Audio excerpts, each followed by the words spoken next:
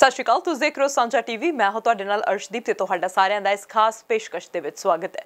ਇਸ ਪੇਸ਼ਕਸ਼ ਦੇ ਵਿੱਚ ਗੱਲਬਾਤ ਕਰਾਂਗੇ ਕੈਨੇਡਾ ਦੁਆਰਾ ਲਗਾਈਆਂ ਨਵੀਆਂ ਪਾਬੰਦੀਆਂ ਦੇ ਬਾਰੇ ਤੇ ਅੱਗੇ ਹੋਰ ਕਿਹੜੀਆਂ-ਕਿਹੜੀਆਂ ਪਾਬੰਦੀਆਂ ਦਾ ਸਾਹਮਣਾ ਕਰਨਾ ਪੈ ਸਕਦਾ ਹੈ, ਕਿਉਂਕਿ ਚਿੰਤਾਵਾਂ ਹੁਣ ਵਧਣ ਲੱਗੀਆਂ ਨੇ। 12 ਸਾਲ ਤੋਂ ਵੱਧ ਉਮਰ ਦੇ ਯਾਤਰੀ ਅੱਜ ਤੋਂ ਜਹਾਜ਼ ਜਾਂ ਟ੍ਰੇਨ ਦਾ ਸਫ਼ਰ ਨਹੀਂ ਕਰ ਸਕਣਗੇ ਅਤੇ ਕੋਵਿਡ ਟੈਸਟ ਦੀ ਨੈਗੇਟਿਵ ਰਿਪੋਰਟ ਜ਼ਿਆਦਾਤਰ ਲੋਕਾਂ ਲਈ ਹੁਣ ਵੈਕਸੀਨ ਪ੍ਰਮਾਣ ਦੇ ਵਿਕਲਪ ਵਜੋਂ ਨਹੀਂ ਵਰਤੀ ਜਾ ਸਕੇਗੀ, ਕਿਉਂਕਿ ਹੁਣ 12 ਸਾਲ ਤੋਂ ਘੱਟ ਉਮਰ ਦੇ ਬੱਚਿਆਂ ਦੇ ਅਜੇ ਵੈਕਸੀਨ ਨਹੀਂ ਲੱਗੀ। ਇਸੇ ਕਰਕੇ ਉਹਨਾਂ ਨੂੰ ਵੈਕਸੀਨ ਦਾ ਪ੍ਰਮਾਣ ਦਿਖਾਏ ਬਿਨਾ ਰੇਲ, ਹਵਾਈ ਜਹਾਜ਼ ਵਿੱਚ ਸਫ਼ਰ ਕਰਨ ਦੀ ਇਜਾਜ਼ਤ ਨਹੀਂ ਮਿਲੇਗੀ। ਹਵਾਈ ਜਾਂ ਰੇਲ ਯਾਤਰਾ ਲਈ ਲਾਜ਼ਮੀ ਵੈਕਸੀਨੇਸ਼ਨ ਦੀ ਨੀਤੀ 30 ਅਕਤੂਬਰ ਤੋਂ ਲਾਗੂ ਹੋ ਗਈ ਸੀ, ਪਰ ਫੈਡਰਲ ਸਰਕਾਰ ਨੇ ਬਗੈਰ ਵੈਕਸੀਨੇਸ਼ਨ ਵਾਲਿਆਂ ਨੂੰ ਟ੍ਰਾਂਜੀਸ਼ਨ ਵਾਸਤੇ ਇੱਕ ਛੋਟੀ ਮਿਆਦ ਉਪਲਬਧ ਕਰਵਾਈ ਸੀ। ਟ੍ਰਾਂਜੀਸ਼ਨ ਪੀਰੀਅਡ ਦਿੱਤਾ ਗਿਆ ਸੀ। ਜਿਸ ਦੌਰਾਨ ਯਾਤਰਾ ਕਰਨ ਦੇ 72 ਘੰਟਿਆਂ ਦੇ ਅੰਦਰ ਅੰਦਰ ਕਰਵਾਏ ਗਏ ਕੋਵਿਡ ਟੈਸਟ ਦੀ ਨੈਗੇਟਿਵ ਰਿਪੋਰਟ ਵੈਕਸੀਨ ਪ੍ਰਮਾਣ ਦੀ ਥਾਂ ਵਰਤੀ ਜਾ ਸਕਦੀ ਸੀ। ਸਖਤ ਨਵੀਂ ਨੀਤੀ ਅਜਿਹੇ ਸਮੇਂ ਵਿੱਚ ਲਾਗੂ ਹੋਈ ਹੈ, ਜਦੋਂ ਕੋਵਿਡ ਦੇ ਨਵੇਂ ਓਮਿਕਰੋਨ ਵੇਰੀਐਂਟ ਨੇ ਦੁਨੀਆ ਭਰ ਵਿੱਚ ਚਿੰਤਾ ਦਾ ਮਾਹੌਲ ਪੈਦਾ ਕਰ ਦਿੱਤਾ ਹੈ। ਸਭ ਤੋਂ ਪਹਿਲਾਂ ਸਾਊਥ ਅਫਰੀਕਾ ਦੇ ਵਿੱਚ ਡਿਟੈਕਟ ਹੋਏ ਇਸ ਵੇਰੀਐਂਟ ਕਾਰਨ ਕੈਨੇਡਾ ਨੇ ਦੱਖਣੀ ਅਫਰੀਕੀ ਦੇਸ਼ਾਂ ਦੇ ਯਾਤਰੀਆਂ ਤੇ ਪਾਬੰਦੀ ਲਗਾ ਦਿੱਤੀ ਹੈ। ਇਸ ਵੇਰੀਐਂਟ ਤੇ ਜ਼ਿਆਦਾ ਤੇਜ਼ੀ ਨਾਲ ਫੈਲਣ ਦਾ ਵੀ ਡਰ ਪੈਦਾ ਹੋ ਗਿਆ ਇਹ ਵੇਰੀਐਂਟ ਕਿੰਨੀ ਤੇਜ਼ੀ ਨਾਲ ਫੈਲਦਾ ਤੇ ਕਿੰਨਾ ਕੁ ਖਤਰਨਾਕ ਹੈ? ਪਬਲਿਕ ਹੈਲਥ ਮਾਹਿਰਾਂ ਅਤੇ ਵਿਗਿਆਨੀਆਂ ਕੋਲ ਫਿਲਹਾਲ ਇਸ ਬਾਰੇ ਬਹੁਤੀ ਜਾਣਕਾਰੀ ਨਹੀਂ ਹੈ। ਪਰ ਸਾਊਥ ਅਫਰੀਕਾ ਦੇ ਵਿੱਚ ਬੀਤੇ ਕੁਝ ਦਿਨਾਂ ਦੇ ਵਿੱਚ ਆਈ ਕੋਵਿਡ ਕੇਸਾਂ ਦੀ ਤੇਜ਼ੀ ਨੂੰ ਇਸ ਨਵੇਂ ਵੇਰੀਐਂਟ ਨਾਲ ਜੋੜ ਕੇ ਦੇਖਿਆ ਜਾ ਰਿਹਾ ਹੈ ਵਿਸ਼ਵ ਸਿਹਤ ਸੰਗਠਨ WHO ਉਹਨਾਂ ਨੇ ਇਸ ਵੇਰੀਐਂਟ ਨੂੰ ਚਿੰਤਾਜਨਕ ਵੇਰੀਐਂਟ ਯਾਨੀ ਕਿ ਵੇਰੀਐਂਟ ਆਫ ਕੰਸਰਨ ਦੀ ਸ਼੍ਰੇਣੀ ਵਿੱਚ ਸ਼ਾਮਿਲ ਕੀਤਾ ਹੈ So today, WHO's Technical Advisory Group on Virus Evolution met to discuss the variant B11529, to discuss what we understand about this variant and if it should be classified as a variant of interest or a variant of concern. Based upon the information that we have, particularly from South Africa, um, they have advised WHO that this variant should be classified as a variant of concern. So today we are announcing B11529 as a variant of concern named Omicron. This variant has a large number of mutations, and some of these mutations have some worrying characteristics. Right now, there are many studies that are underway. There's a lot of work that is ongoing in South Africa and in other countries to better characterize the variant itself in terms of transmissibility, in terms of severity, and any impact on our countermeasures like the use of diagnostics, therapeutics, or vaccines. So far, there's little information, but those studies are underway. So we need researchers to have the time to carry those out, and WHO will inform the public um, and our partners and our member states as soon as we have more information. We understand that people are concerned. The good thing is that we have monitoring systems around the world to detect these variants very quickly. This variant was detected a few weeks ago, and already scientists are sharing research with us, information with us, so that we can take action. What's really important as an individual is to lower your exposure. The measures, these proven public health measures, have never been more important. Distancing, wearing of a mask, making sure that it's over your nose and mouth with clean hands, um, making sure you avoid crowded spaces, have, be in rooms where there's good ventilation, and when it's your turn, get vaccinated. Canada ਆਉਣ ਵਾਲੇ ਸਾਰੇ ਯਾਤਰੀਆਂ ਜਾਂ ਮੁਲਕ ਦੇ ਅੰਦਰ ਹੀ ਹਵਾਈ ਜਾਂ ਰੇਲ ਯਾਤਰਾ ਕਰਨ ਵਾਲੇ ਲੋਕਾਂ ਦੀ ਮੁਕੰਮਲ ਵੈਕਸੀਨੇਸ਼ਨ ਹੋਣਾ ਜ਼ਰੂਰੀ ਹੈ। ਦੱਖਣੀ ਅਫਰੀਕੀ ਦੇਸ਼ਾਂ ਦੇ ਜ਼ਰੀਏ ਕੈਨੇਡਾ ਪਹੁੰਚਣ ਵਾਲੇ ਯਾਤਰੀਆਂ ਨੂੰ ਛੱਡ ਕੇ ਫਿਲਹਾਲ ਮੁਲਕ ਵਿੱਚ ਕਿਸੇ ਯਾਤਰੀ ਲਈ ਕੁਆਰੰਟਾਈਨ ਦੀ ਜ਼ਰੂਰਤ ਨਹੀਂ ਹੈ। ਹਾਲਾਂਕਿ, ਬਹੁਤ ਸਾਰੀਆਂ 에ਅਰਲਾਈਨਸ ਯਾਤਰੀਆਂ ਦੇ ਵੈਕਸੀਨੇਟਡ ਹੋਣ ਨੂੰ ਸੁਨਿਸ਼ਚਿਤ ਕਰਨ ਦੇ ਲਈ ਅਕਸਰ ਉਹਨਾਂ ਤੋਂ ਗੈਰ ਤਰਤੀਬਬੱਧ ਤੌਰ ਤੇ ਵੈਕਸੀਨ ਪ੍ਰਮਾਣ ਮੰਗਦੀਆਂ ਰਹੀਆਂ ਨੇ, ਪਰ 에ਅਰ ਕੈਨੇਡਾ ਤੇ ਵੈਸਟ ਜੈਟ ਨੇ ਪੁਸ਼ਟੀ ਕਰ ਦਿੱਤੀ ਹੈ ਕਿ ਉਹਨਾਂ ਵੱਲੋਂ ਹਰੇਕ ਯਾਤਰੀ ਤੋਂ ਵੈਕਸੀਨੇਸ਼ਨ ਦਾ ਸਬੂਤ ਮੰਗਿਆ ਜਾਵੇਗਾ। ਯਾਨੀ ਕਿ ਯਾਤਰੀ ਨੂੰ ਫੁੱਲੀ ਵੈਕਸੀਨੇਟਡ ਹੋਣਾ ਲਾਜ਼ਮੀ ਹੋਵੇਗਾ।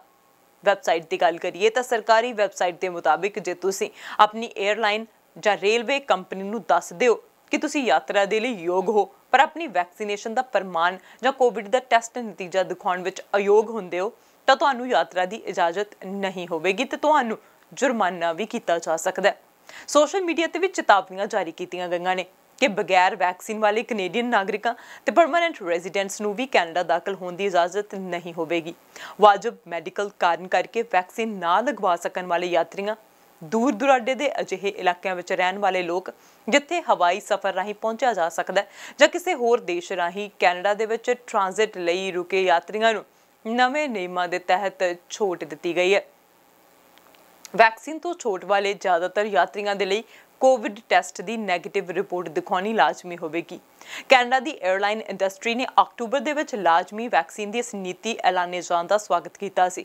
ਹਾਲਾਂਕਿ ਕੁਝ ਕੰਪਨੀਆਂ ਨੇ ਘੱਟ ਸਮੇਂ ਵਿੱਚ ਲੋੜੀਂਦੇ ਪ੍ਰਬੰਧ ਕਰਨ ਬਾਬਤ ਚਿੰਤਾ ਵੀ ਪ੍ਰਗਟ ਕੀਤੀ ਸੀ ਤੇ ਉਦੋਂ ਫੈਡਰਲ ਸਰਕਾਰ ਨੇ ਇੱਕ ਮਿਆਰੀ ਵੈਕਸੀਨੇਸ਼ਨ ਪ੍ਰਮਾਣ ਦਾ ਵੀ ਐਲਾਨ ਕੀਤਾ ਸੀ, ਜਿਹੜਾ ਸੂਬਾ ਸਰਕਾਰਾਂ ਵੱਲੋਂ ਘਰੇਲੂ ਤੇ ਅੰਤਰਰਾਸ਼ਟਰੀ ਯਾਤਰਾ ਦੇ ਲਈ ਮੁਹੱਈਆ ਕਰਵਾਇਆ ਜਾ ਰਿਹਾ ਹੈ। ਟਰੈਵਲ ਰੈਸਟ੍ਰਿਕਸ਼ਨਸ ਦੇ ਬਾਰੇ ਸਰਕਾਰ ਦੇ ਵੱਲੋਂ ਲਗਾਤਾਰ ਜਾਣਕਾਰੀਆਂ ਦਿੱਤੀਆਂ ਜਾ ਰਹੀਆਂ ਨੇ।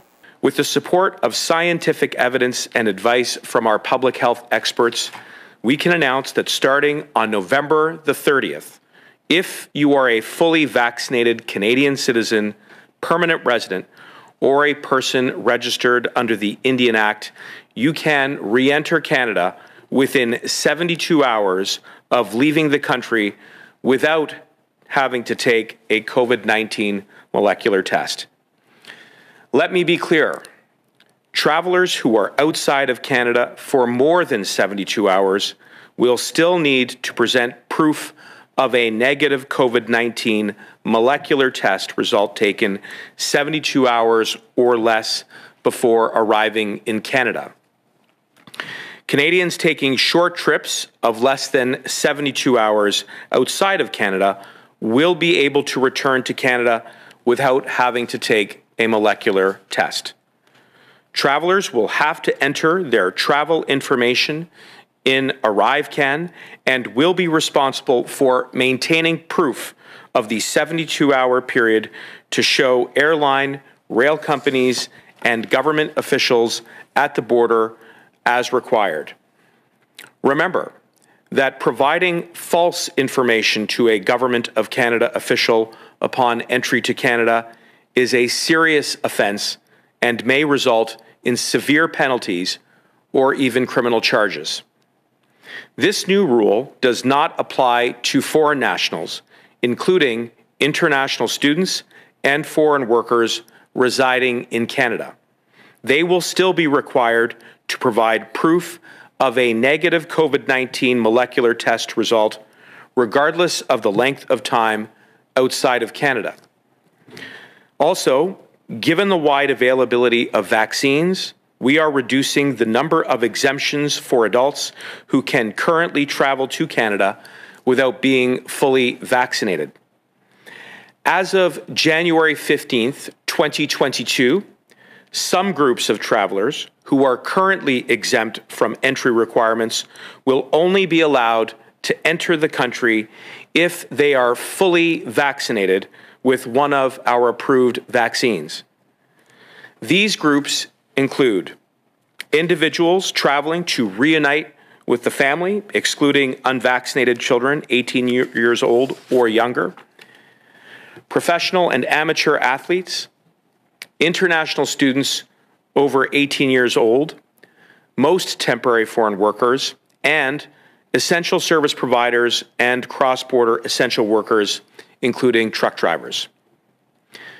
I strongly urge all travelers, Canadian and foreign nationals, to verify all entry requirements before they travel to ensure they meet all mandatory requirements. ਤੇ ਕੋਵਿਡ ਦੇ ਨਵੇਂ ਵੇਰੀਐਂਟ ਓਮਿਕਰੋਨ ਇਸ ਦੇ ਮੱਦੇਨਜ਼ਰ ਕਈ ਤਰ੍ਹਾਂ ਦੀਆਂ ਰੋਕਾਂ ਦਾ ਸਾਹਮਣਾ ਕਰਨਾ ਪੈ ਰਿਹਾ ਖਾਸ ਕਰਕੇ ਸਾਊਥ ਅਫਰੀਕਾ ਦੀਆਂ ਕਈ ਕੰਟਰੀਜ਼ ਨੂੰ ਕੋਵਿਡ ਦੇ ਨਵੇਂ ਓਮਿਕਰੋਨ ਵੇਰੀਐਂਟ ਦੇ ਮੱਦੇਨਜ਼ਰ ਲੱਗੀਆਂ ਟਰੈਵਲ ਰੋਕਾਂ ਦੇ ਕਾਰਨ ਕੈਨੇਡਾ ਦੀ junior field hockey team South Africa ਦੇ ਵਿੱਚ ਅਟਕ ਗਈ ਹੈ ਤੇ ਆਪਣੇ ਮੁਲਕ ਦੇ ਵਿੱਚ ਵਾਪਸ ਪਰਤਣ ਦੀ ਉਡੀਕ ਕਰ ਰਹੀ ਹੈ। ਵੱਧ ਤੇਜ਼ੀ ਨਾਲ ਫੈਲਣ ਵਾਲਾ ਮੰਨਿਆ ਜਾ ਰਿਹਾ ਕੋਵਿਡ ਦਾ ਇਹ ਵੇਰੀਐਂਟ ਸਭ ਤੋਂ ਪਹਿਲਾਂ ਸਾਊਥ ਅਫਰੀਕਾ ਦੇ ਵਿੱਚ ਡਿਟੈਕਟ ਹੋਇਆ ਸੀ। ਸ਼ੁੱਕਰਵਾਰ ਨੂੰ ਫੈਡਰਲ ਸਰਕਾਰ ਨੇ ਐਲਾਨ ਕੀਤਾ ਸੀ ਕਿ ਦੱਖਣੀ ਅਫਰੀਕਾ ਦੇ 7 ਦੇਸ਼ South Africa Namibia Zimbabwe Botswana Lesotho ਅਤੇ ਮੌਂਜਬੀਕ ਦੀ ਬੀਤੇ 14 ਦਿਨਾਂ ਦੇ ਦੌਰਾਨ ਯਾਤਰਾ ਕਰਨ ਵਾਲੇ ਸਾਰੇ ਵਿਦੇਸ਼ੀਆਂ ਨੂੰ ਕੈਨੇਡਾ ਦਾਖਲ ਹੋਣ ਦੀ ਇਜਾਜ਼ਤ ਨਹੀਂ ਹੋਵੇਗੀ। ਕੈਨੇਡੀਅਨ ਨਾਗਰਿਕਾਂ ਤੇ ਪਰਮਨੈਂਟ ਰੈਜ਼ੀਡੈਂਟਸ ਨੂੰ ਕੈਨੇਡਾ ਆਉਣ ਦੀ ਆਗਿਆ ਹੋਵੇਗੀ, ਪਰ ਕਈ 에ਅਰਲਾਈਨਸ ਦੇ ਸਾਊਥ ਅਫਰੀਕਾ ਤੋਂ ਉਡਾਨਾਂ ਵਿੱਚ ਕਟੌਤੀ ਕਰਨ ਅਤੇ ਕੋਵਿਡ ਦਾ ਮੋਲੀਕਿਊਲਰ ਟੈਸਟ ਕਰਵਾ ਕੇ ਆਉਣਾ ਵਰਗੇ ਨਵੇਂ ਨਿਯਮਾਂ ਨੇ ਯਾਤਰਾ ਨੂੰ ਚੁਣੌਤੀਪੂਰਨ ਬਣਾ ਕੇ ਰੱਖ ਦਿੱਤਾ ਕੈਨੇਡਾ ਵਾਪਸ ਆ ਰਹੇ ਕੈਨੇਡੀਅਨਸ ਦੇ ਲਈ ਕਨੈਕਟਿੰਗ ਦੇਸ਼ ਤੋਂ ਕੋਵਿਡ ਟੈਸਟ ਕਰਵਾ ਕੇ ਆਉਣਾ ਜ਼ਰੂਰੀ ਕਰ ਦਿੱਤਾ ਗਿਆ 5 ਤੋਂ 16 ਦਸੰਬਰ ਤੱਕ ਸਾਊਥ ਅਫਰੀਕਾ ਦੇ ਇੱਕ ਸ਼ਹਿਰ ਵਿੱਚ ਇੰਟਰਨੈਸ਼ਨਲ ਹਾਕੀ ਫੈਡਰੇਸ਼ਨ ਦੇ ਜੂਨੀਅਰ ਵਿਸ਼ਵ ਕੱਪ ਦਾ ਆਯੋਜਨ ਕੀਤਾ ਜਾਣਾ ਸੀ। ਇਸ ਖੇਡ ਮੁਕਾਬਲੇ ਵਿੱਚ ਸ਼ਾਮਿਲ ਹੋਣ ਲਈ ਕੈਨੇਡਾ ਦੀ ਲੜਕੀਆਂ ਦੀ ਟੀਮ ਵੀ ਸਾਊਥ ਅਫਰੀਕਾ ਪਹੁੰਚੀ ਹੋਈ ਹੈ, ਜਿਸ ਵਿੱਚ BC ਦੀਆਂ 14 ਲੜਕੀਆਂ ਸ਼ਾਮਿਲ ਨੇ। ਓਮਿਕਰੋਨ ਦੇ ਮੱਦੇਨਜ਼ਰ ਇਸ ਵਿਸ਼ਵ ਕੱਪ ਨੂੰ ਮੁਲਤਵੀ ਕਰਨ ਦਾ ਵੀ ਐਲਾਨ ਕਰ ਦਿੱਤਾ ਗਿਆ। ਹੁਣ ਇਸ ਨੂੰ ਚਿੰਤਾਜਨਕ ਮੰਨਿਆ ਜਾ ਰਿਹਾ ਹੈ। ਦੇਸ਼ ਦੇ ਪ੍ਰਧਾਨ ਮੰਤਰੀ ਜਸਟਿਨ ਟਰੂਡੋ ਨੇ ਕਿਹਾ ਕਿ ਕੋਵਿਡ ਦੇ ਓਮਿਕਰੋਨ ਵੇਰੀਐਂਟ ਦੇ ਫੈਲਾਅ ਨੂੰ ਰੋਕਣ ਦੇ ਲਈ ਕੈਨੇਡਾ ਸਰਕਾਰ ਨਵੇਂ ਉਪਾਵਾਂ ਤੇ ਵਿਚਾਰ ਕਰ ਰਹੀ ਹੈ। ਓਮਿਕਰੋਨ ਵੇਰੀਐਂਟ ਨੂੰ ਕੈਨੇਡਾ ਦੇ ਬਾਕੀ ਵੇਰੀਐਂਟਸ ਦੇ ਮੁਕਾਬਲੇ ਜ਼ਿਆਦਾ ਤੇਜ਼ੀ ਨਾਲ ਫੈਲਣ ਵਾਲਾ ਮੰਨਿਆ ਜਾ ਰਿਹਾ ਹੈ। ਆਟਵਾ ਦੇ ਵਿੱਚ ਪੱਤਰਕਾਰਾਂ ਦੇ ਨਾਲ ਗੱਲਬਾਤ ਦੇ ਦੌਰਾਨ ਟਰੂਡੋ ਨੇ ਕਿਹਾ ਕਿ ਸਰਕਾਰ ਨੇ ਓਮਿਕਰੋਨ ਦੀ ਸਥਿਤੀ ਤੇ ਬਹੁਤ ਬਾਰੀਕੀ ਦੇ ਨਾਲ ਨਜ਼ਰ ਬਣਾ ਕੇ ਰੱਖੀ ਹੈ। ਟਰੂਡੋ ਨੇ ਕਿਹਾ ਕਿ ਅਸੀਂ ਜਾਣਦੇ ਹਾਂ ਕਿ ਭਾਵੇਂ ਕੈਨੇਡਾ ਦੇ ਬਾਰਡਰ ਉਪਾ ਕਾਫੀ ਸਖਤ ਨੇ ਸਾਨੂੰ ਕੈਨੇਡਾ ਵਿੱਚ ਵੈਕਸੀਨੇਸ਼ਨ ਲਿਆਉਣ ਦੀ ਲੋੜ ਹੈ। ਸਾਨੂੰ ਲੋਕਾਂ ਦੀ ਯਾਤਰਾ ਤੋਂ ਪਹਿਲਾਂ ਤੇ ਕੈਨੇਡਾ ਪਹੁੰਚਣ ਤੇ ਕੋਵਿਡ ਟੈਸਟ ਕਰਨ ਦੀ ਜ਼ਰੂਰਤ ਹੈ। ਹੋ ਸਕਦਾ ਹੈ ਕਿ ਸਾਨੂੰ ਹੋਰ ਕਈ ਕਦਮ ਉਠਾਉਣ ਦੀ ਲੋੜ ਪਵੇ ਤੇ ਅਸੀਂ ਪੂਰੀ ਪੂਰੀ ਸਾਵਧਾਨੀ ਦੇ ਨਾਲ ਇਸ ਦਾ ਜਾਇਜ਼ਾ ਲਵਾਂਗੇ। Obviously, we're watching very, very closely the situation with Omicron. Uh, we know that even though Canada has very strong border measures now, we need uh, va- uh, vaccinations to come to Canada. We need uh, pre-departure tests. We do testing on arrival. Uh, there may be more we need to do, and we'll be looking at it very carefully. ਫਿਲਹਾਲ ਇਹ ਸਪਸ਼ਟ ਨਹੀਂ ਹੈ ਕਿ Trudeau ਸਾਰੇ ਯਾਤਰੀਆਂ ਲਈ Canada ਪਹੁੰਚਣ ਤੇ ਕੋਵਿਡ ਟੈਸਟ ਕਰਵਾਉਣਾ ਜ਼ਰੂਰੀ ਕੀਤੇ ਜਾਣ ਵੱਲ ਇਸ਼ਾਰਾ ਕਰ ਰਹੇ ਨੇ ਜਾਂ ਨਹੀਂ ਮੌਜੂਦਾ ਨਿਯਮਾਂ ਦੇ ਮੁਤਾਬਿਕ ਕੈਨੇਡਾ ਆਉਣ ਵਾਲੇ ਯਾਤਰੀਆਂ ਨੂੰ ਕੈਨੇਡਾ ਦਾਖਲ ਹੋਣ ਤੋਂ ਪਹਿਲਾਂ ਕੋਵਿਡ ਦੇ ਮੋਲੀਕਿਊਲਰ ਟੈਸਟ ਦੀ ਨੈਗੇਟਿਵ ਰਿਪੋਰਟ ਦਿਖਾਉਣਾ ਲਾਜ਼ਮੀ ਹੈ ਓਨਟਾਰੀਓ ਦੇ ਪ੍ਰੀਮੀਅਰ ਡਗ ਫੋਰਡ ਤੇ ਕੁਝ ਹੋਰ ਪ੍ਰੀਮੀਅਰਸ ਕੈਨੇਡਾ ਸਰਕਾਰ ਨੂੰ ਸਾਰੇ ਸਾਰੇ ਮੁਸਾਫਰਾਂ ਦੇ ਲਈ ਕੈਨੇਡਾ ਪਹੁੰਚਣ ਤੇ ਕੋਵਿਡ ਟੈਸਟ ਲਾਜ਼ਮੀ ਕਰਨ ਦੀ ਮੰਗ ਕਰ ਰਹੇ ਨੇ। ਹੁਣ ਤੋਂ ਕੈਨੇਡਾ ਨੇ ਛੋਟੀਆਂ ਟ੍ਰਿਪਸ ਦੇ ਲਈ ਯੂਐਸ ਜਾ ਕੇ ਆਉਣ ਵਾਲੇ ਯਾਤਰੀਆਂ ਲਈ ਕੋਵਿਡ ਦੇ ਪੀਸੀਆਰ ਟੈਸਟ ਤੋਂ ਛੋਟ ਲਾਗੂ ਕਰ ਦਿੱਤੀ ਹੈ। ਆਪਣੀ ਯਾਤਰਾ ਪੂਰੀ ਕਰ 72 ਘੰਟਿਆਂ ਦੇ ਅੰਦਰ ਅੰਦਰ ਕੈਨੇਡਾ ਵਾਪਸ ਆਉਣ ਵਾਲੇ ਪੂਰੀ ਤਰ੍ਹਾਂ ਵੈਕਸੀਨੇਸ਼ਨ ਵਾਲੇ ਕੈਨੇਡੀਅਨਸ ਪਰਮਾਨੈਂਟ ਰੈਜ਼ੀਡੈਂਟਸ ਦੇ ਲਈ ਇਹ ਛੋਟ ਲਾਗੂ ਹੋ ਗਈ ਹੈ। ਫਿਲਹਾਲ ਇਹ ਸਪਸ਼ਟ ਨਹੀਂ ਹੈ ਕਿ ਓਮਿਕਰੋਨ ਦੀ ਸਥਿਤੀ ਵਿੱਚ ਇਹ ਛੋਟ ਜਾਰੀ ਰਹੇਗੀ ਜਾਂ ਨਹੀਂ। ਕਈ ਕਾਰੋਬਾਰੀ ਗਰੁੱਪਸ ਅਤੇ ਟੂਰਿਜ਼ਮ ਸੈਕਟਰ ਦੇ ਦਬਾਅ ਦੇ ਬਾਵਜੂਦ ਕੈਨੇਡਾ ਨੇ ਅਜੇ ਵੀ ਬਾਕੀ ਸਾਰੇ ਯਾਤਰੀਆਂ ਦੇ ਲਈ ਕੈਨੇਡਾ ਆਉਣ ਤੋਂ ਪਹਿਲਾਂ ਮੋਲੀਕਿਊਲਰ ਕੋਵਿਡ ਟੈਸਟ ਕਰਵਾਉਣ ਦੀ ਸ਼ਰਤ ਨੂੰ ਬਰਕਰਾਰ ਰੱਖਿਆ ਹੋਇਆ ਹੈ। ਹੈਲਥ ਮਿਨਿਸਟਰ ਯੋ ਈਵ ਡਿਊਕੋਲੋ ਨੇ ਵਧੇਰੇ ਰੋਕਾਂ ਲਗਾਏ ਜਾਣ ਦੀ ਸੰਭਾਵਨਾ ਤੇ ਸਵਾਲ ਦਾ ਜਵਾਬ ਦਿੰਦਿਆਂ ਕਿਹਾ ਕਿ ਜਦੋਂ ਤੱਕ ਉਹ ਆਪਣੇ ਬਾਕੀ ਕੈਬਨਿਟ ਸਾਥੀਆਂ ਦੇ ਨਾਲ ਬੈਠਕ ਨਹੀਂ ਕਰਦੇ, ਉਦੋਂ ਤੱਕ ਇਸ ਸਬੰਧ ਵਿੱਚ ਕੁਝ ਵੀ ਨਹੀਂ ਦੱਸਿਆ ਜਾ ਸਕਦਾ। ਪਰ ਹੌਲੀ-ਹੌਲੀ ਹੁਣ ਓਮਿਕਰੋਨ ਵੇਰੀਐਂਟ ਦੇ ਕੇਸ ਵੀ ਵਧਣ ਲੱਗੇ ਨੇ। BC ਵਿੱਚ ਵੀ ਕੋਵਿਡ-19 ਦੇ ਓਮਿਕਰੋਨ ਵੇਰੀਐਂਟ ਦਾ ਪਹਿਲਾ ਮਾਮਲਾ ਰਿਪੋਰਟ ਹੋਇਆ ਸੂਬੇ ਦੀ ਪ੍ਰੋਵਿੰਸ਼ੀਅਲ ਸਿਹਤ ਆਫੀਸਰ ਡਾਕਟਰ ਬੋਨੀ ਹੈਨਰੀ ਨੇ ਜਾਣਕਾਰੀ ਦਿੱਤੀ ਹੈ ਕਿ ਇਹ ਮਾਮਲੇ ਫਰੇਜ਼ਰ ਹੈਲਥ ਰੀਜਨ ਵਿੱਚ ਸਾਹਮਣੇ ਆਇਆ ਪੀੜਤ ਵਿਅਕਤੀ ਬਾਰੇ ਦੱਸਿਆ ਗਿਆ ਕਿ ਇਸ ਵਿਅਕਤੀ ਨੇ ਹਾਲ ਹੀ ਵਿੱਚ ਨਾਈਜੀਰੀਆ ਦੀ ਯਾਤਰਾ ਕੀਤੀ ਸੀ। ਡਾਕਟਰ ਹੈਨਰੀ ਨੇ ਦੱਸਿਆ ਕਿ ਜਿਵੇਂ ਹਰ ਮਾਮਲੇ ਵਿੱਚ ਕੀਤਾ ਜਾਂਦਾ ਇਸੇ ਮਾਮਲੇ ਵਿੱਚ ਵਿਅਕਤੀ ਦੇ ਕੰਟੈਕਟ ਸੰਬੰਧੀ ਜਾਂਚ ਕੀਤੀ ਜਾ ਰਹੀ ਹੈ। ਡਾਕਟਰ ਹੈਨਰੀ ਨੇ ਦੱਸਿਆ ਕਿ ਹੁਣ ਤੱਕ 204 ਅਜਿਹੇ ਲੋਕਾਂ ਨੂੰ ਆਇਡੈਂਟੀਫਾਈ ਕੀਤਾ ਗਿਆ ਜਿਨ੍ਹਾਂ ਨੇ ਓਮਿਕਰੋਨ ਦੇ ਪ੍ਰਭਾਵ ਹੇਠ ਆਏ ਦੇਸ਼ਾਂ ਦੀ ਯਾਤਰਾ ਕੀਤੀ ਹੋਵੇ।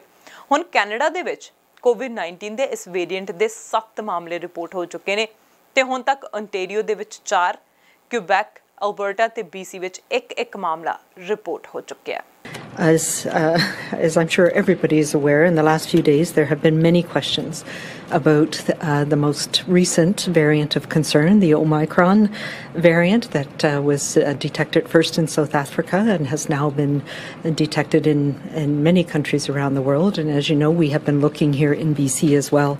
And today we have identified our first case in BC in a person in the Fraser Health Authority who recently traveled uh, and returned from Nigeria. They are isolating, and public health is, as we do with every case, following up with them and their contacts at this time. To date, uh, the Public Health Agency of Canada, who we've been working closely with since uh, late last week when this was first identified, has identified uh, 204 people in BC who were recently in affected areas. And the quarantine service, working with our teams, have connected with all of these individuals over the past few days, and they have been sent for uh, uh, PCR testing and are in isolation. We have a robust pro, uh, program here in BC and have had from the very beginning, using whole genome sequencing to help us understand uh, what strains are transmitting to whom. We've been using them for helping us identify uh, transmission in outbreaks. And as you know, over the last number of months, we've done a very comprehensive program. We did 100% uh, of all of our cases for a period of time. And as those cases increased, we targeted our program to make sure that we did whole genome sequencing on 100% of cases for one week a month and then a proportion for every other week. Plus, from the beginning, we have been doing a whole genome sequencing on any positive uh, uh, COVID test from anybody who's traveled internationally, and that is how we detected our first case today. Omicron variant ਇਹ ਨਵਾਂ variant ਹੈ ਇਹਦੇ ਵਿੱਚ ਵੱਡੀ ਤਾਦਾਦ ਵਿੱਚ mutation ਹੈ mutation ਤੋਂ ਭਾਵ ਕਿ ਵਾਇਰਸ ਦੇ ਸਰੂਪ ਦੇ ਵਿੱਚ ਤਬਦੀਲੀ। ਇਹ ਵੱਡੇ ਪੱਧਰ ਦੇ ਉੱਤੇ ਤਬਦੀਲੀ ਕਰਦਾ ਹੈ। ਵੱਡੀ ਗਿਣਤੀ ਦੇ ਵਿੱਚ ਮਿਊਟੇਸ਼ਨ ਹੋਣ ਕਾਰਨ ਹੀ ਇਸ ਵੇਰੀਐਂਟ ਨੂੰ ਵਧੇਰੇ ਤੇਜ਼ੀ ਨਾਲ ਫੈਲਣ ਵਾਲਾ ਮੰਨਿਆ ਜਾ ਰਿਹਾ ਹੈ। ਵੈਕਸੀਨਾਂ ਦੇ ਇਸ ਨਵੇਂ ਵੇਰੀਐਂਟ ਤੇ ਅਸਰ ਨੂੰ ਲੈ ਕੇ ਵੀ ਕਈ ਤਰ੍ਹਾਂ ਦੇ ਸਵਾਲ ਪੈਦਾ ਹੋ ਰਹੇ ਨੇ। ਮੋਡਰਨਾ ਦੇ ਸੀਈਓ ਸਟੀਵਨ ਬੈਂਜ਼ਲ ਨੇ ਕਿਹਾ ਕਿ ਉਹਨਾਂ ਦੇ ਅਨੁਮਾਨ ਦੇ ਮੁਤਾਬਿਕ ਓਮਿਕਰੋਨ ਵੇਰੀਐਂਟ ਉੱਪਰ ਕੋਵਿਡ ਵੈਕਸੀਨਾਂ ਘੱਟ ਅਸਰਦਾਰ ਹੋਣਗੀਆਂ। ਉਹਨਾਂ ਆਖਿਆ ਕਿ ਮੈਨੂੰ ਨਹੀਂ ਪਤਾ ਕਿ ਵੈਕਸੀਨ ਦੀ ਕਾਰਗਰਤਾ ਕਿੰਨੀ ਕੁ ਪ੍ਰਭਾਵਿਤ ਹੋਵੇਗੀ, ਕਿਉਂਕਿ ਇਸ ਲਈ ਸਾਨੂੰ ਡੇਟੇ ਦਾ ਇੰਤਜ਼ਾਰ ਕਰਨਾ ਹੋਵੇਗਾ। ਡੇਟਾ ਸਾਹਮਣੇ ਆਵੇਗਾ, ਫਿਰ ਉਸ ਤੋਂ ਬਾਅਦ ਦੱਸਿਆ ਜਾਵੇਗਾ ਕਿ ਕਿੰਨਾ ਕੁ ਅਸਰਦਾਰ ਦਵਾਈਆਂ ਹੋ ਸਕਦੀਆਂ ਨੇ। ਪਰ ਉਹਨਾਂ ਕਿਹਾ, ਮੇਰੇ ਜਿੰਨੇ ਵੀ ਵਿਗਿਆਨੀਆਂ ਦੇ ਨਾਲ ਗੱਲ ਹੋਈ ਹੈ, ਉਹਨਾਂ ਸਾਰਿਆਂ ਦੇ ਮੁਤਾਬਿਕ ਇਹ ਬਹੁਤ ਚੰਗਾ ਨਹੀਂ ਹੋਣ ਵਾਲਾ। ਜਿੱਥੇ ਇੱਕ ਪਾਸੇ ਮੋਡਰਨਾ ਦੇ ਸੀਈਓ ਨੇ ਵੈਕਸੀਨ ਦੇ ਨਵੇਂ ਵੇਰੀਐਂਟ ਤੇ ਪ੍ਰਭਾਵ ਬਾਰੇ ਖਦਸ਼ੇ ਜ਼ਾਹਿਰ ਕੀਤੇ, ਉੱਥੇ ਦੂਜੇ ਪਾਸੇ ਫਾਈਜ਼ਰ ਦੇ ਨਾਲ ਮਿਲ ਕੇ ਕੋਵਿਡ ਵੈਕਸੀਨ ਬਣਾਉਣ ਵਾਲੀ ਕੰਪਨੀ ਬਾਇਓਨਟੈਕ ਦੇ ਸਹਿ ਸੰਸਥਾਪਕ ਦਾ ਕਹਿਣਾ ਹੈ ਕਿ ਭਾਵੇਂ ਇਹ ਨਵਾਂ ਵੇਰੀਐਂਟ ਤੇਜ਼ੀ ਨਾਲ ਫੈਲਣ ਵਾਲਾ ਹੋ ਸਕਦਾ ਹੈ, ਪਰ ਪੂਰੀ ਵੈਕਸੀਨੇਸ਼ਨ ਵਾਲੇ ਲੋਕ ਗੰਭੀਰ ਬਿਮਾਰ ਹੋਣ ਤੋਂ ਬਚੇ ਰਹਿਣਗੇ। ਉਹਨਾਂ ਕਿਹਾ, ਸਾਡਾ ਸੁਨੇਹਾ ਘਬਰਾਓ ਨਾ, ਯੋਜਨਾ ਉਹੀ ਹੈ ਕੋਵਿਡ ਵੈਕਸੀਨ ਦੀ ਤੀਜੀ ਖੁਰਾਕ ਜਲਦ ਦਿੱਤੀ ਜਾਵੇ। ਹੁਣ ਇਸ ਬਾਰੇ ਵੀ ਬਹੁਤ ਸਾਰੇ ਸਵਾਲ ਸਾਹਮਣੇ ਆ ਰਹੇ ਨੇ। ਬੂਸਟਰ ਸ਼ਾਟ ਬੂਸਟਰ ਸ਼ਾਟ ਅਮੀਰ ਕੰਟਰੀਜ਼ ਆਪਣੇ ਨਾਗਰਿਕਾਂ ਨੂੰ ਤਾਂ ਦੇ ਰਹੀਆਂ ਨੇ, ਪਰ ਉਹਨਾਂ ਗਰੀਬ ਕੰਟਰੀਜ਼ ਦਾ ਕੀ? ਜਿੱਥੇ ਇੱਕ ਵੀ ਵੈਕਸੀਨ ਨਹੀਂ ਪਹੁੰਚੀ, ਕਿਉਂਕਿ ਵੈਕਸੀਨ ਸਾਰੇ ਦੇਸ਼, ਸਾਰੇ ਮੁਲਕਾਂ ਦੇ ਵਿੱਚ ਪਹੁੰਚਣੀ ਜ਼ਰੂਰੀ ਹੈ, ਪੂਰੀ ਦੁਨੀਆ ਦੇ ਵਿੱਚ ਪਹੁੰਚਣੀ ਜ਼ਰੂਰੀ ਹੈ, ਤਾਂ ਕਿ ਹਰ ਇੱਕ ਇਨਸਾਨ ਵੈਕਸੀਨੇਟਡ ਹੋ ਸਕੇ। ਵੈਕਸੀਨਸ ਸਾਡੇ ਇਮਿਊਨ ਸਿਸਟਮ, ਜਿਸ ਵਿੱਚ ਐਂਟੀਬਾਡੀਜ਼ ਤੇ ਟੀ ਸੈੱਲ ਸ਼ਾਮਲ ਨੇ ਨੂੰ ਵਾਇਰਸ ਦੀ ਪਛਾਣ ਕਰਨਾ ਸਿਖਾਉਂਦੀਆਂ ਨੇ।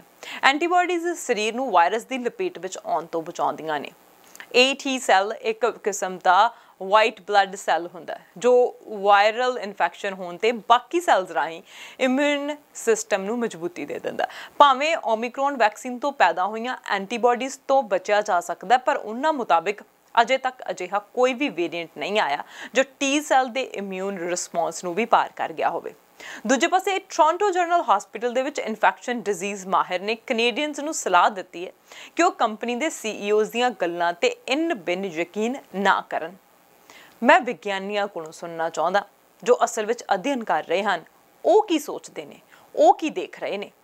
ਉਸ ਡਾਕਟਰ ਦਾ ਕਹਿਣਾ ਹੈ ਕਿ ਆਉਣ ਵਾਲੇ ਕੁਝ ਹਫ਼ਤਿਆਂ ਦੇ ਵਿੱਚ ਵੈਕਸੀਨ ਦੀ ਕਾਰਗਰਤਾ ਬਾਰੇ ਵਧੇਰੇ ਸਪਸ਼ਟਤਾ ਉਪਲਬਧ ਹੋਵੇਗੀ। ਵਧੇਰੇ ਕਲੀਅਰ ਮੈਸੇਜ ਸਾਹਮਣੇ ਆਵੇਗਾ। ਉਹਨਾਂ ਕਿਹਾ ਕਿ ਅਜਿਹਾ ਬੇहद ਅਸਧਾਰਨ ਹੋਵੇਗਾ ਜੇ ਕੋਈ ਵੇਰੀਐਂਟ ਕਿਸੇ ਵੈਕਸੀਨ ਦੀ ਮੁਕੰਮਲ ਕਾਰਗਰਤਾ ਨੂੰ ਹੀ ਰੱਦ ਕਰ ਦੇਵੇ। ਉਹਨਾਂ ਕਿਹਾ ਕਿ ਮੁਮਕਿਨ ਹੈ ਕਿ ਵੈਕਸੀਨ ਦਾ ਪ੍ਰਭਾਵ ਕੁਝ ਘੱਟ ਜ਼ਰੂਰ ਸਕਦਾ ਪਰ ਵੈਕਸੀਨ ਦਾ ਬਿਲਕੁਲ ਹੀ ਬੇਅਸਰ ਹੋਣਾ ਬਹੁਤ ਅਸਧਾਰਨ ਹੋਵੇਗਾ। ਹੁਣ ਸਵਾਲ ਬਹੁਤ ਸਾਰੇ ਨੇ।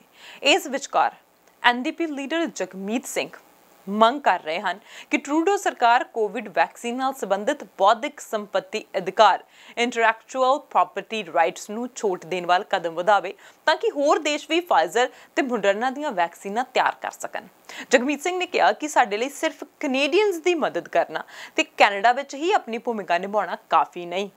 ਸਾਨੂੰ ਹੋਰ ਦੇਸ਼ਾਂ ਦੀ ਵੀ ਮਦਦ ਕਰਨੀ ਚਾਹੀਦੀ ਹੈ, ਖਾਸ ਤੌਰ ਤੇ ਉਹਨਾਂ ਦੀ, ਜਿਨ੍ਹਾਂ ਕੋਲ ਵੈਕਸੀਨਾਂ ਖਰੀਦਣ ਤੇ ਸਰੋਤ ਵੀ ਨਹੀਂ ਹੈ। ਜਗਮੀਤ ਸਿੰਘ ਦਾ ਕਹਿਣਾ ਹੈ ਕਿ ਫਾਰਮਾ ਕੰਪਨੀਆਂ ਦੇ ਮੁਨਾਫਿਆਂ ਦੀ ਸੁਰੱਖਿਆ ਨਾਲੋਂ ਲੋਕਾਂ ਦੀ ਵੈਕਸੀਨ ਮੁਹੱਈਆ ਕਰਵਾਉਣਾ ਜ਼ਿਆਦਾ ਜ਼ਰੂਰੀ ਹੈ। ਹਾਲਾਂਕਿ ਕੁਝ ਪੱਛਮੀ ਦੇਸ਼ਾਂ ਨੇ ਕੋਵਿਡ ਵੈਕਸੀਨਾਂ ਦੇ ਮਾਮਲੇ ਵਿੱਚ ਬੌਧਿਕ ਸੰਪਤੀ ਹਟਾਉਣ ਬਾਰੇ ਗੱਲਬਾਤ ਕਰਨ ਦੇ ਸੰਕੇਤ ਦਿੱਤੇ ਨੇ, ਪਰ ਇੰਡਸਟਰੀ ਦੇ ਮਾਹਰਾਂ ਦਾ ਕਹਿਣਾ ਹੈ ਕਿ ਸਿਰਫ ਤਬਦੀਲੀਆਂ ਕਰਨ ਨਾਲ ਵਿਕਾਸਸ਼ੀਲ ਦੇਸ਼ਾਂ ਦੇ ਵਿੱਚ ਵੈਕਸੀਨ ਉਪਲਬਧਤਾ ਸੁਨਿਸ਼ਚਿਤ ਨਹੀਂ ਕੀਤੀ ਜਾ ਸਕਦੀ। ਉਹਨਾਂ ਦਾ ਤਰਕ ਹੈ ਕਿ ਵਿਕਾਸਸ਼ੀਲ ਦੇਸ਼ਾਂ ਦੇ ਵਿੱਚ ਕੱਚੇ ਮਾਲ ਦੀ ਘਾਟ ਤੋਂ ਲੈ ਕੇ ਸਪਲਾਈ ਦੀਆਂ ਰੁਕਾਵਟਾਂ ਵਰਗੀਆਂ ਕਈ ਚੁਣੌਤੀਆਂ ਸਾਹਮਣੇ ਆਉਣਗੀਆਂ। ਸਾਊਥ ਅਫਰੀਕਾ ਦੇ ਵਿੱਚ ਭਾਵੇਂ ਵੈਕਸੀਨ ਦੀ ਉਪਲਬਧਤਾ ਦੀ ਕੋਈ ਸਮੱਸਿਆ ਨਹੀਂ, ਪਰ ਲੋਕਾਂ ਵਿੱਚ ਵੈਕਸੀਨ ਨੂੰ ਲੈ ਕੇ ਝਿਜਕ, ਘੱਟ ਵੈਕਸੀਨੇਸ਼ਨ ਦਰ ਦਾ ਵੱਡਾ ਕਾਰਨ ਹੈ। ਜਗਬੀਰ ਸਿੰਘ ਨੇ ਸਰਕਾਰ ਵੱਲੋਂ ਸੱਤ ਦੱਖਣੀ ਅਫਰੀਕੀ ਦੇਸ਼ਾਂ ਤੋਂ ਯਾਤਰਾ ਨੂੰ ਸੀਮਿਤ ਕਰਨ ਤੇ ਵੀ ਸਵਾਲ ਉਠਾਉਂਦਿਆਂ ਕਿਹਾ ਕਿ ਉਹ ਇਸ ਫੈਸਲੇ ਦੇ ਪਿੱਛੇ ਹੋਰ ਠੋਸ ਕਾਰਨ ਜਾਣਨ ਦੇ ਲਈ ਤਿਆਰ ਹਨ। ਪਰ ਉਹਨਾਂ ਦੇ ਮੁਤਾਬਿਕ ਕੋਵਿਡ ਟੈਸਟ ਤੇ ਕੁਆਰੰਟਾਈਨ ਟਰੈਵਲ ਬੈਨ ਨਾਲੋਂ ਬਿਹਤਰ ਵਿਕਲਪ ਹੈ। ਉਹਨਾਂ ਕਿਹਾ ਕਿ ਮਹਾਮਾਰੀ ਦੇ ਨਾਲ ਲੜਾਈ ਵਿੱਚ ਸਭ ਤੋਂ ਕਾਰਗਰ ਹਥਿਆਰ ਵੈਕਸੀਨ ਹੀ ਹੈ ਅਤੇ ਵੈਕਸੀਨ ਦਰ ਵਧਾਉਣ ਦੇ ਨਾਲ-ਨਾਲ ਵੈਕਸੀਨ ਦੇ ਪੇਟੈਂਟ ਹਟਾਉਣ ਦੇ ਤਵੱਜੋ ਦਿੱਤੀ ਜਾਣੀ ਚਾਹੀਦੀ ਹੈ And finally, with uh, the Omicron variant, we know people are deeply concerned about the pandemic. It's still um, something that we are we are dealing with, and the Omicron increases people's worry because it's a new it's a new variable. We want people to we want to continue to encourage folks to follow public health guidelines. We want to encourage people to get vaccinated, and those who are eligible to get the booster shot.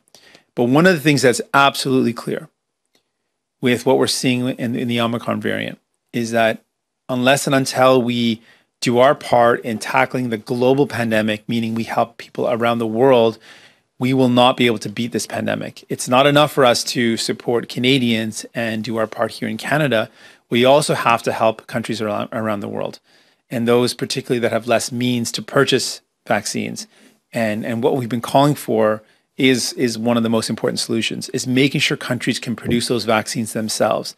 And that means mr trudeau needs to take a position whether he wants to support countries producing their own vaccines or protect the profits of pharmaceutical companies. And to date mr trudeau is still not taking a position on that. We need to make sure that people are put first that we don't protect the profits of pharmaceutical companies. Instead we ensure these countries have the ability to produce the vaccine locally uh, I think there is absolutely strong evidence to suggest that the lack of vaccination globally has contributed to where we are today. There's no doubt about that. That uh, if everyone in the world was vaccinated, we know from from experts it would reduce the li- likelihood or rate of transmission, and we'd be in a far better position when it comes to tackling the pandemic. So there's no doubt that the global battle has has has not been where it needs to be that some of the wealthier countries have done a good job of, of vaccinating themselves, but we've not done a good job working together with other countries. And the particular failure, the specific failure, has been to to so far globally protect the profits of pharmaceutical companies over giving the capacity to countries to produce vaccines themselves. That has been the specific failure, if I can highlight a specific failure. ਕਈ ਸਿਹਤਮਾਰ ਕਹਿ ਰਹੇ ਨੇ ਕਿ ਜੇਕਰ ਰਹਿੰਦੇ ਲੋਕਾਂ ਨੇ ਕੋਵਿਡ-19 vaccine ਨਾ ਲਗਵਾਈ ਜਾਂ ਬੂਸਟਰ ਖੁਰਾਕ ਨਹੀਂ ਲਈ, ਤਾਂ ਕਰੋਨਾ ਵਾਇਰਸ ਦੇ ਨਵੇਂ ਰੂਪ ਓਮਿਕਰੋਨ ਕਾਰਨ ਮੁਸ਼ਕਲਾਂ ਵੱਧ ਸਕਦੀਆਂ ਨੇ ਤੇ ਸਖਤ ਕੋਵਿਡ-19 ਬੰਦਸ਼ਾਂ ਮੁੜ ਲਾਗੂ ਕਰਨੀਆਂ ਪੈ ਸਕਦੀਆਂ ਨੇ। ਨਵਾਂ ਓਮਿਕਰੋਨ ਕਰੋਨਾ ਵਾਇਰਸ ਜਿਸ ਨੂੰ B1.1.529 ਦਾ ਨਾਮ ਵੀ ਦਿੱਤਾ ਗਿਆ, ਕਾਰਨ ਕੌਮਾਂਤਰੀ ਯਾਤਰਾ ਪਾਬੰਦੀਆਂ ਪਹਿਲਾਂ ਹੀ ਲੱਗਣੀਆਂ ਸ਼ੁਰੂ ਹੋ ਗਈਆਂ ਨੇ। ਹੁਣ ਅੱਗੇ ਕੀ ਹੁੰਦਾ ਕਿਸ ਤਰ੍ਹਾਂ ਦੀਆਂ ਪਾਬੰਦੀਆਂ ਸਾਹਮਣੇ ਆਉਂਦੀਆਂ ਨੇ? ਕੀ ਲੋਕ ਪਾਬੰਦੀਆਂ ਦੇ ਲਈ ਤਿਆਰ ਹਨ? ਕਿਉਂਕਿ ਕਈ ਲੋਕ ਅਜੇ ਵੀ ਯਾਤਰਾਵਾਂ ਦੀਆਂ ਸਲਾਹਾਂ ਬਣਾ ਰਹੇ ਸਨ। ਅਜੇ ਵੀ ਪਿਛਲੇ ਕੋਵਿਡ ਦੇ ਸਦਮੇ ਤੋਂ ਸਾਹਮਣੇ ਬਾਹਰ ਨਹੀਂ ਆਏ। ਅਜੇ ਵੀ ਚੌਥੀ ਵੇਵ ਦੇ ਵਿੱਚ ਅਟਕ ਕੇ ਬੈਠੇ ਹੋਏ ਨੇ। ਅਜੇ ਵੀ ਕੋਵਿਡ ਦੇ ਕਈ ਲੱਛਣਾਂ ਦਾ ਅਨੁਭਵ ਕਰ ਰਹੇ ਨੇ। ਅਜੇ ਵੀ ਪੁਰਾਣਾ ਕੋਵਿਡ ਹੋ ਕੇ ਹਟਿਆ, ਪਰ ਅਜੇ ਵੀ ਆਪਣੇ ਸਰੀਰ ਦੇ ਵਿੱਚ ਚੇਂਜਸ ਨੋਟ ਕਰ ਰਹੇ ਨੇ। ਪਰ ਆਉਣ ਵਾਲੇ ਸਮੇਂ ਦੇ ਵਿੱਚ ਕੀ ਅਸੀਂ ਮੈਂਟਲੀ ਤਿਆਰ ਹਾਂ?